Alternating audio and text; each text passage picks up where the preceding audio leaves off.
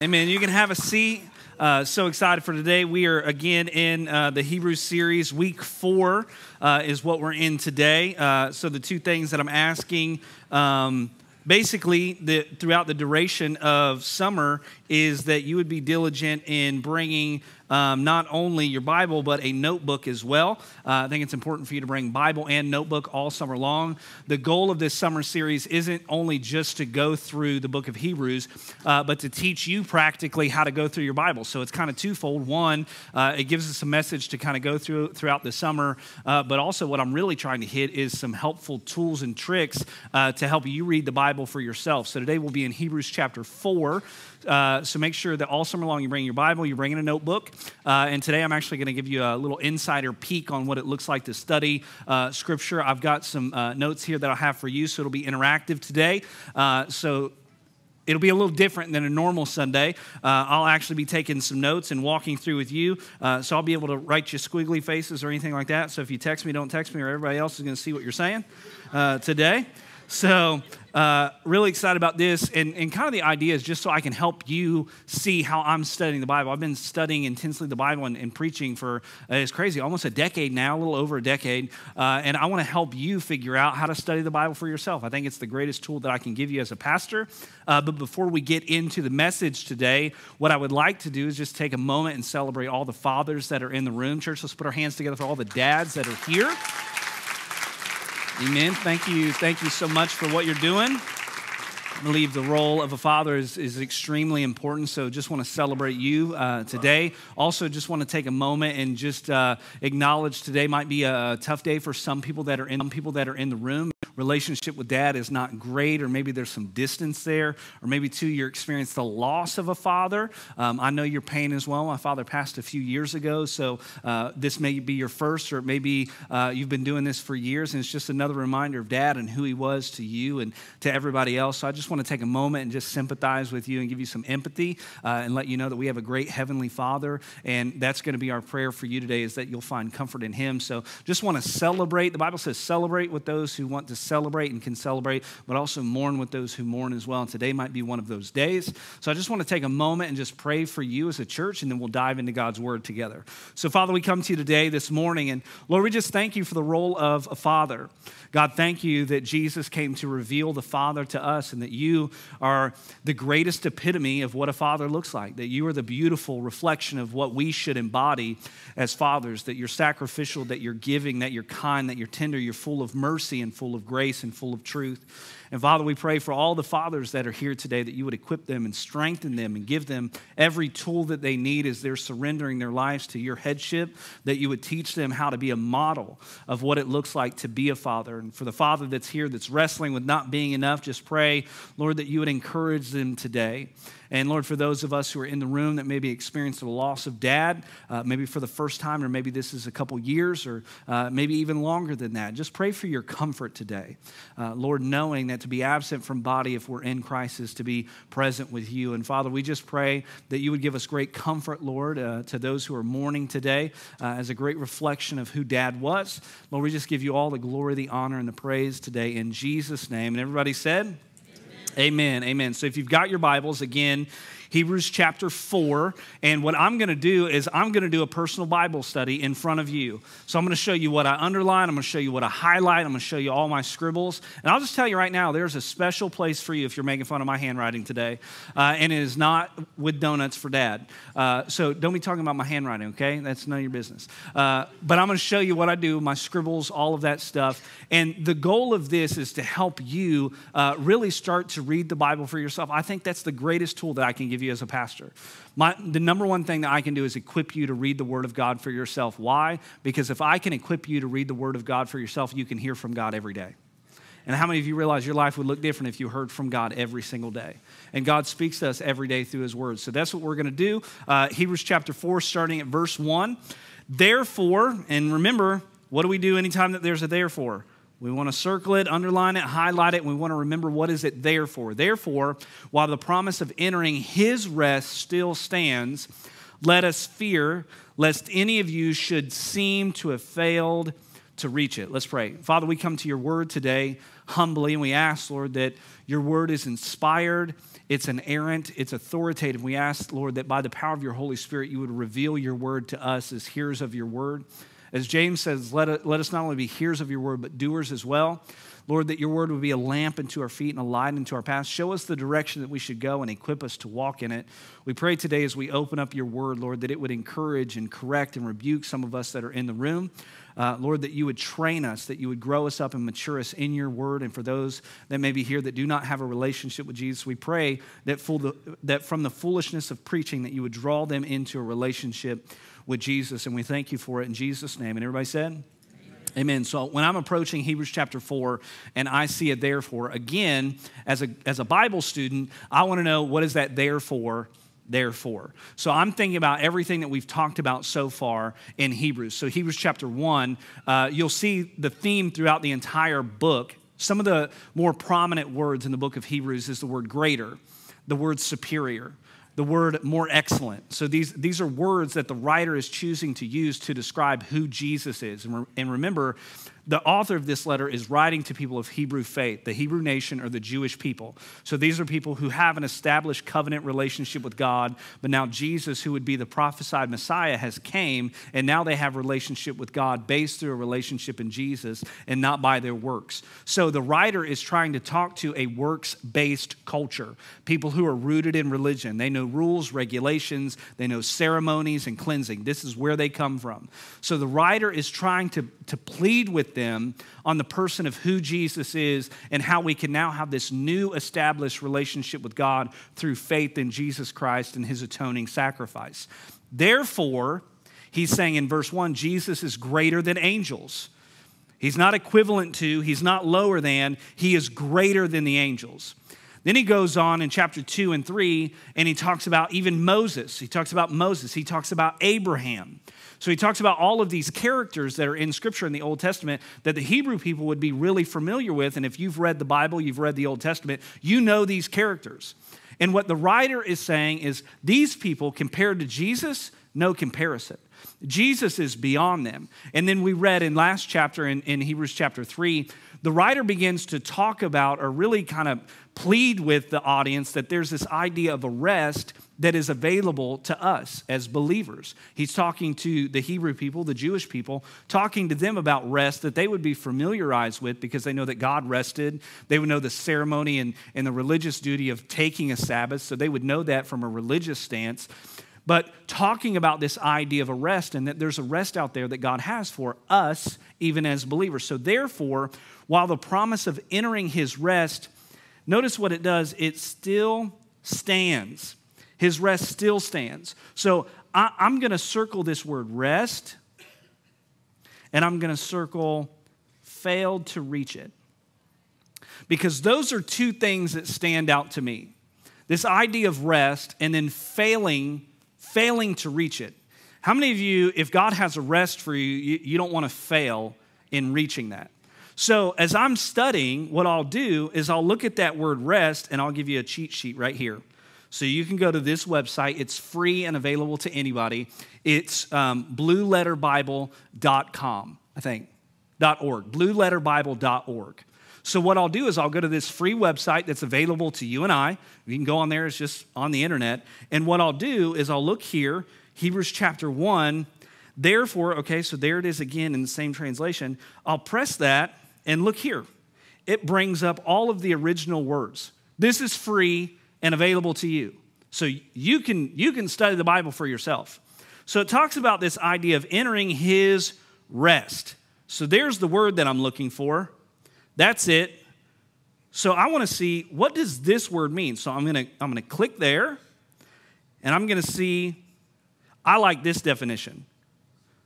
Calming of winds, a resting place or metaphor of God's of, of a blessed state where God dwells. So, what I'm doing is I'm coming back here and I'm saying, rest is calm. And then I've already done the work for you. But this idea of failed to, re- failed to reach it is where we get the, the, the word hysteria from, where things are just crazy or out of control and life isn't smooth and things are chaotic and crazy. So then I'll come over here and I'll say calm versus crazy. I have both of those attributes in my life. How about you? And then from there, then I'll start diagnosing what areas in my life seem calm and what areas of my life seem crazy.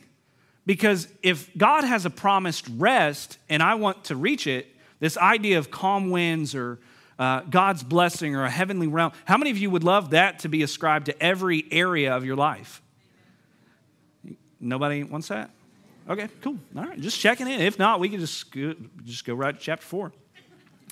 Calm. This idea of being calm in verse. So I would start asking myself, what areas are calm? What areas of crazy? Which brings us to point number one, which would be consistently. Don't skip ahead. Look at consistently pursue His rest. That's point number one consistently pursue his rest because if God has a rest out there that's available to you and I, I want to enter into that rest.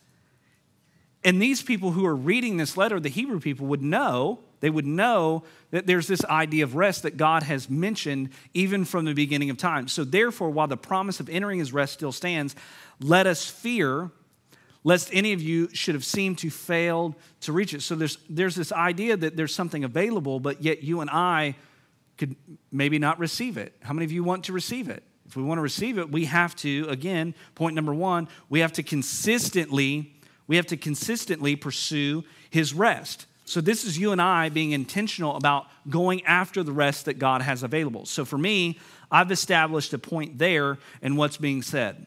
So then what I'll do in my Bible is I'll, I'll continue to go down in verse 2. So let's open up verse 2.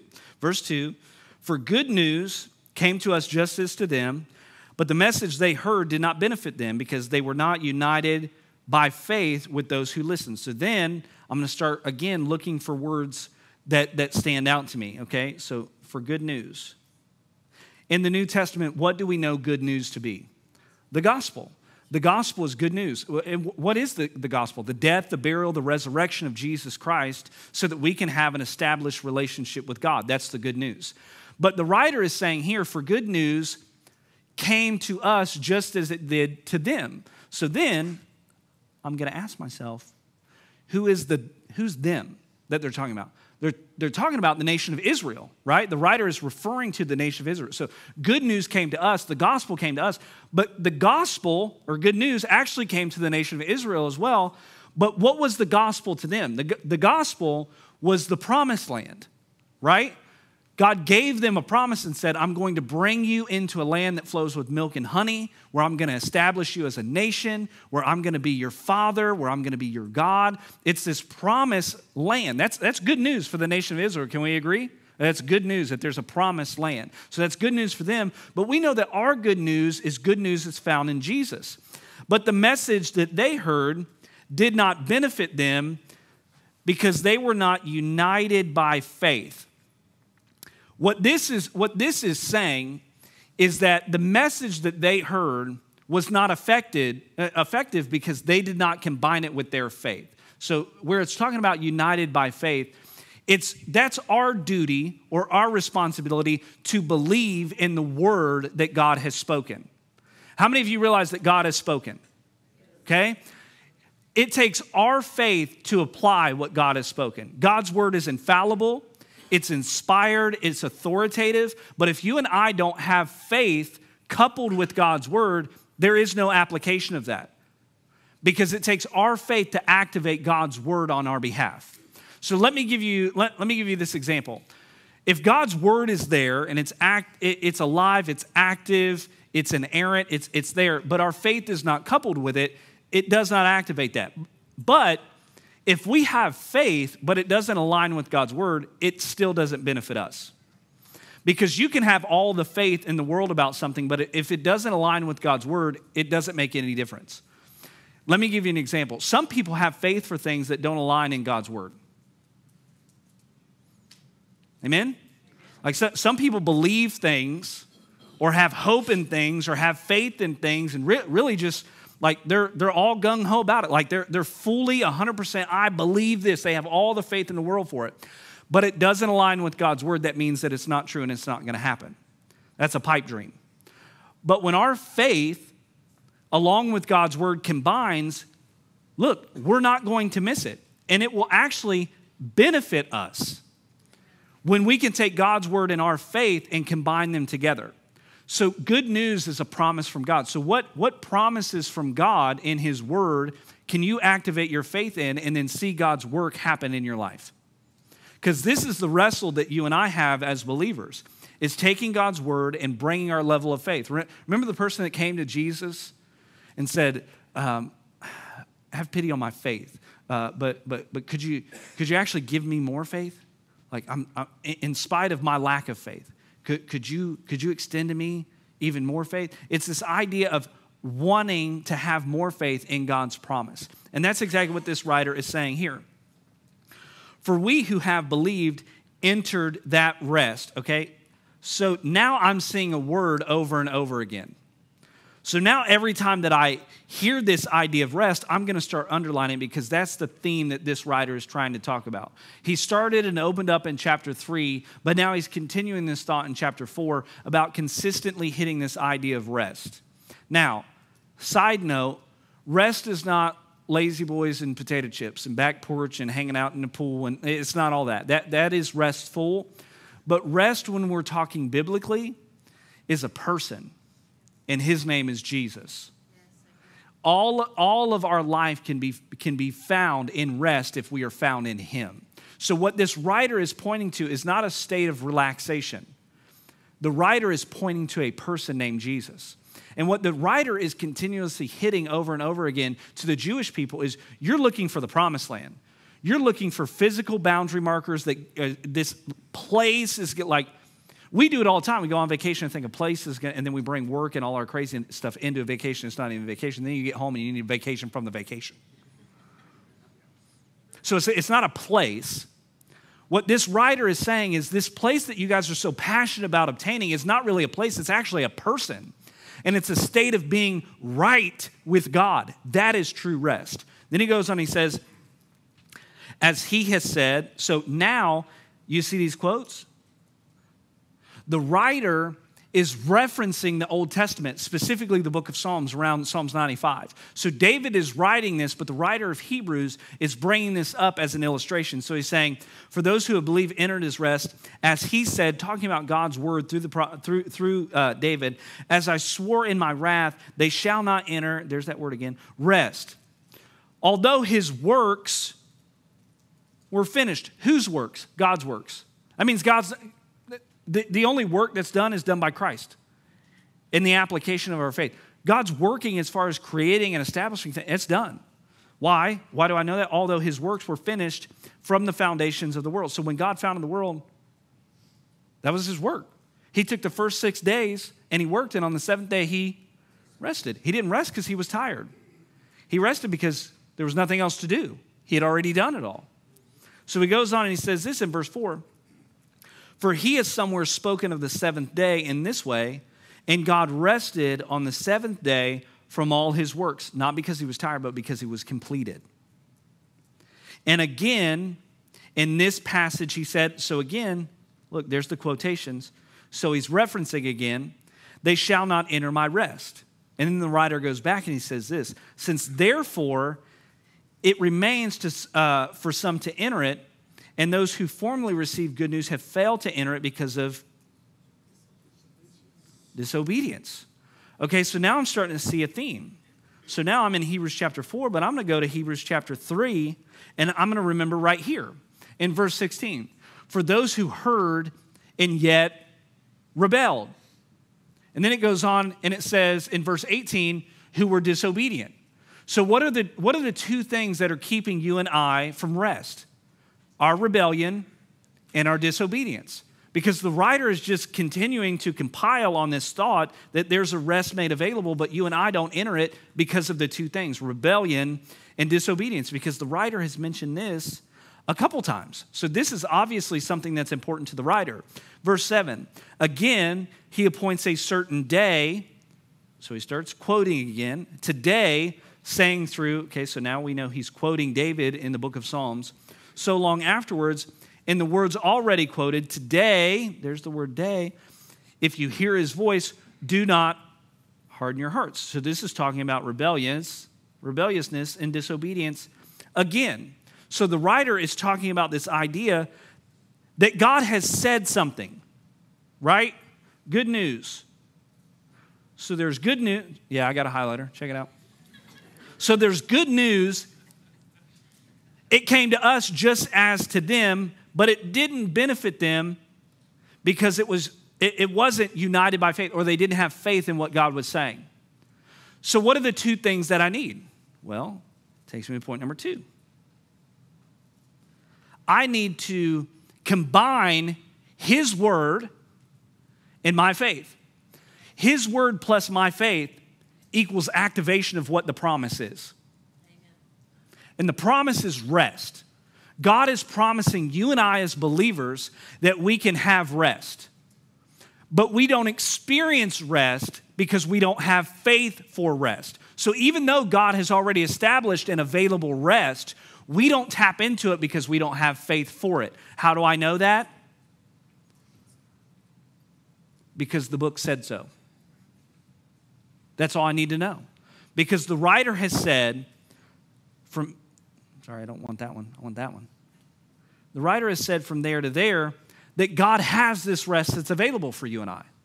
But we, we don't apply the good news and bring our faith into it, so we can't activate it. So, what is the writer? Again, this is the second time that he's referenced this Old Testament psalm. So, what is the writer saying? Hey, wake up! Don't miss out on God's promise. The good news was preached to them as it is to us. There is a rest available, but it's, it's only going to apply when my faith and God's word combine and come together. So, we're seven verses in, and we're already learning how to get this stuff going. So, now let's keep going in verse 8. And again, all of this scribbling and underlining, this is just to help you learn how to get into your Bible. Like, I want you to open up your Bible and read it, underline stuff, and, and this is how you hear from God. This is it. You just open His Word and see what, what God is saying. So, verse 8 says this For if Joshua, okay, so I'm circling names. And then I'm thinking, okay, so he's talking about Joshua here. Who else has the writer mentioned so far? He's talked about angels, he's talked about prophets, he's talked about Moses, he's talked about Abraham, and now who, who's he talking about?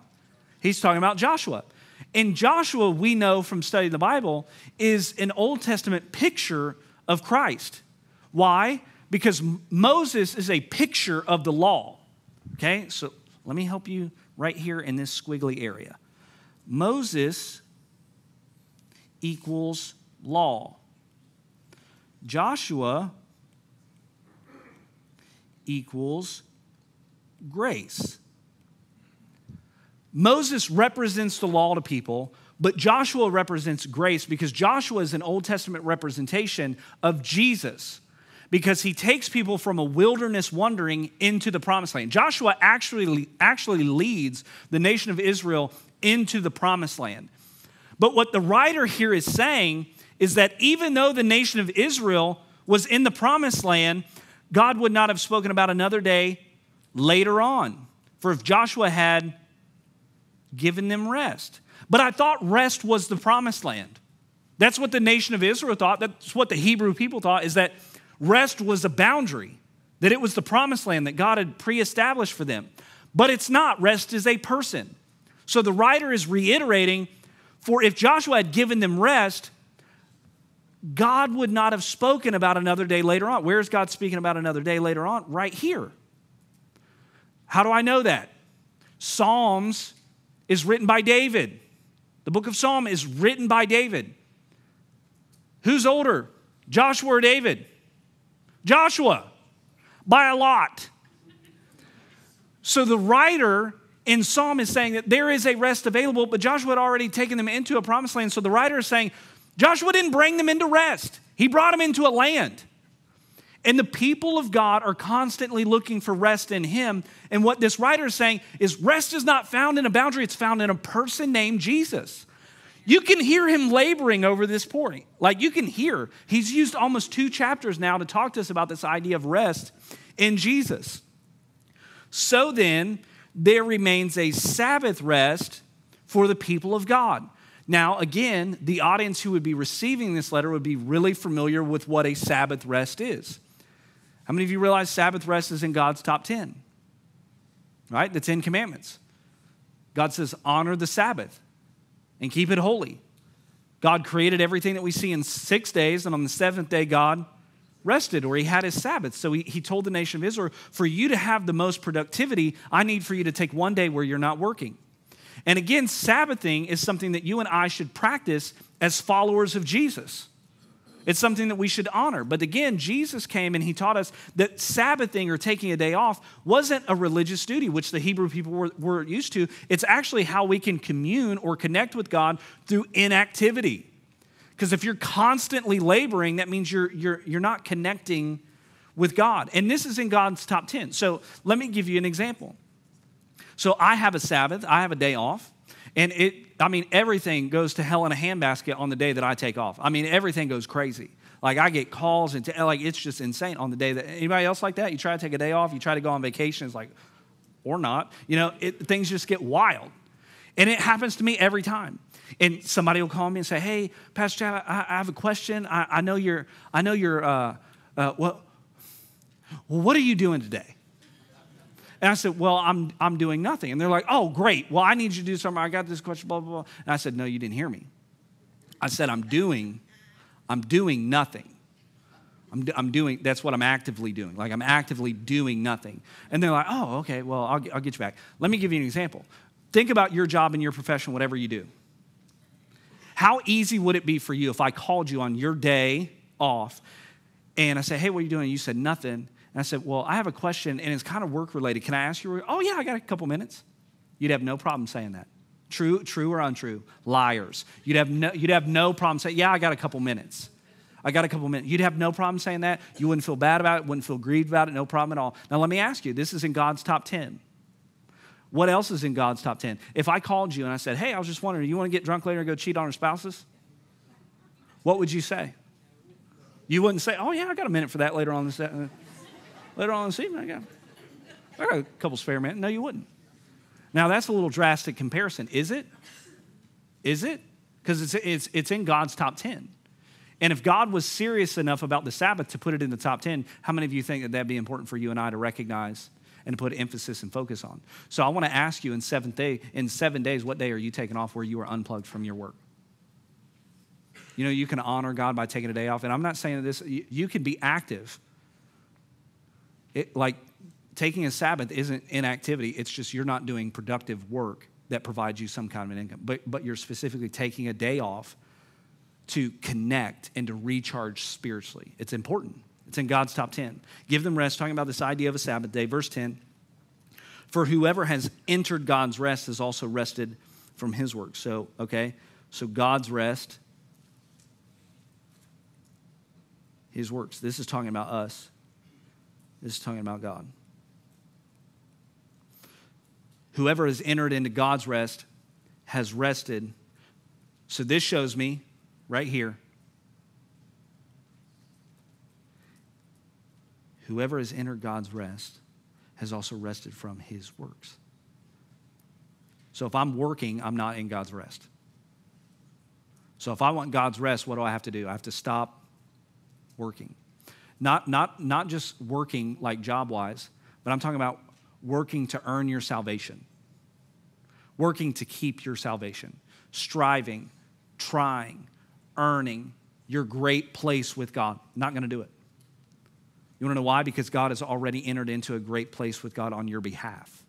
So, what the writer of Hebrews is trying to say is that you will never enter into God's rest by your work and your labor. No one will ever say to God, Well, I've worked so hard that I've entered into a place where I can be right with you. Nobody. Nobody will ever be able to say that. So when we rest from our work, we can actually experience God's rest as God did from His. Let us therefore strive to enter that rest so that no one may fall by the same sort of disobedience. So there's that word disobedience again, but I'm having a problem here because this word and this word are completely opposite. strive and rest, they have nothing in common together. Think about the word strive. What does that speak to? Energy, effort, momentum, doing, activity, strive. Rest. What does rest say? Relaxed, calm, just experiencing. And what the writer of Hebrews is saying is let us therefore strive to enter into rest. Okay? So that takes me to point number three. I have to contend to enter into his rest. The word contend talks about actively pursuing or passionately going after. The reason that you and I have to passionately pursue God's rest is because everything will try to come in between it. When you try to take a Sabbath, when you try to take a day off, when you try to experience time with God, you, you try. If, if you don't read the Bible every day, try to read the Bible. Everything will try to get in the way of it. If you don't pray every day and have a specific time where you pray, try to set it up and see if everything does. You, nobody will, you will, you'll say, you know what, I'm going to pray on my way to work. You're on your way to work 7:30. Nobody calls you. Nobody interrupts you. On your first day of trying, somebody's going to call you at 7:30. Hey, what are you doing this morning? You and I have to contend. That this is a combative term, which means that we have to we have to fight things that would try to keep us from resting with God. What are things that try to fight us from resting with God? Religiosity, religion and rules, and regulations, us trying and strive. That will keep you from resting. Why? Because it has you in a cyclical pattern of trying to earn. You're just constantly trying to earn. You have to contend for whose rest? For God's rest. So we have to strive so that no one may fall by the same sort of disobedience. So the writer is saying that we can, we can actually be disobedient just like the nation of Israel because they relied on themselves. They were rebellious, they were disobedient. So the writer goes from there, and then he goes to this idea about talking about the Word of God. And this is, this is spoken a lot, talking about the Word of God being the Bible, which is accurate and it's true because this word right here, Word of God, speaks to Logos, which is the original word. So if I were to go back to that free website where it shows you all the original words, the Word of God is Logos, which is the written word. But look at what's being said here God spoke. Okay, so God's speaking. Okay, let's see. Good news came to, okay, so again, here is God speaking. So God is speaking, and the writer is giving examples of how God is speaking over and over again in the Old Testament. And now he's speaking to us in the New Testament. But he says this For the Word of God is living and active. So if it's living and active, I always think about opposite words. The opposite of living is dead, the opposite of active is inactive. So the Word of God is alive today. And how do I know the Word of God is alive today? Because the Holy Spirit's speaking to you through His Word. Amen. That's how it's alive. This is the only book that when you read it, it will read you back. So it's living and it's active, and it's sharper than any two edged sword. So when I think about a sword, you can either slice with a sword or you can penetrate with a sword. So, what the writer is saying here is that the Word of God can actually penetrate your heart. But not only that, but when it gets in there, it can actually slice on both sides. It's a, it's a double edged sword. The Word of God, the, the spoken Word of God. Okay, so let's compare this. The Word of God, which would be the good news in the Old Testament, was I'm going to take you into a land of promise. So that promise was alive and active and it could have penetrated their heart and divided. What would it have divided? It would have divided their Egypt slavery thoughts and their promised believing in God thoughts. That's what, that's what the Word of God would have done. If they would have believed the Word of God, it would have, it would have pierced their heart. They would have believed. So, what does the Word of God do for us today? It pierces us with the gospel, with the good news of Jesus, and then it gets in there and it messes you all up. That's what God's Word, I mean, it, God's Word frustrates me every time I read it because it reads me and I'm not good. There is nothing good in me. And you want to know how I know it? This is my favorite part about God's word. Check this out. There's that word piercing again. To the division of soul and spirit. So, just to give you an idea really quick, um, theologists have this idea when they study how we're created. Um, it's dichotomy or trichotomy is the thought. So dichotomy, are we made in two? Trichotomy, made in three. For me, I'm a trichotomist because I believe God's three and spirit, soul, and body. That's just my thought. But we can have donuts with Dad after if you want to argue about it. We can talk about it. Whatever. It's not a big deal. Not a primary issue. So I'm not concerned. But the Word of God divides soul and spirit. What, what, is, what is your soul? Your soul is your mind, your will, and your emotions. What is your spirit? Your spirit is what connects you to God. So the Word of God will divide, it will get your emotions out of things. Do you want to be a God decision maker or a you decision maker? When I'm a me decision maker, it's not good. But when I'm a God decision maker, I don't know about you, but I, I, I need to hear God's word and I need to make God sized decisions. I need God's word on some things. How do I know that it's God's word and not mine? Well, because the word of God is the only thing that will separate my soul and my spirit. It's the only thing that will do it. And then notice that it goes on, it says, uh, joints and marrow. So it's talking about this idea. And then here's my favorite part of this verse because this is the one that really, this one frustrates me. The thoughts, ooh, this one hurts already. I'm just going to go ahead and highlight that for you because you should. Thoughts and intentions of the heart. We know from Jeremiah that the heart is de- desperately wicked. Who can know it? The Bible, the Word of God, is the only thing that can separate your thoughts and the intentions of your heart because you will lie to yourself all day about what you think and why you handled something the way that you did. You're a liar and you lie to yourself you tell yourself, oh, well, I did this because of that, or I did it because I love them, or I did that because of this, and this is why I did that. And uh, you go to apologize. Well, the reason I did that, and the reason I did this, and the reason I did that, blah, blah, blah, blah, blah. You start blame shifting. It's what they did in the garden. And it's what you and I do. And we lie to ourselves all day. Our thoughts and intentions. Well, the reason that I did, we, we start coming up with these intentions of why we did this. Well, we, we lie to ourselves. And the only thing that can expose our heart our thoughts and the intentions is God's word. So when you take a situation and you bear it before God's word and you said, All right, God, why did not only what did I do, but why did I do that? And then God reveals it to you, and you're like, Oh, that wasn't me. That word is called conviction.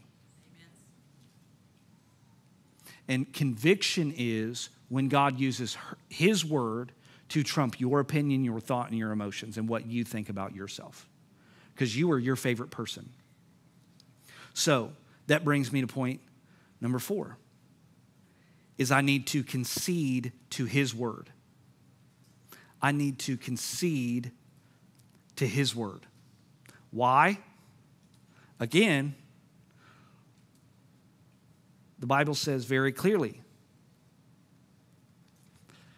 no creature, wrong thing, no creature is hidden from God's sight, all of us are naked and exposed to the eyes of Him.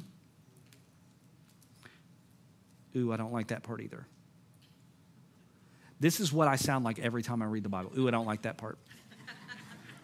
You're getting an insider perspective on what a pastor thinks when he, re- ooh, I don't like that part. Because I know you say the same thing, because I do. Right here, naked and exposed. Who was naked and exposed that we know of?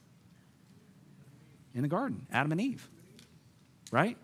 Be, and, and then what did they do? They, they lied.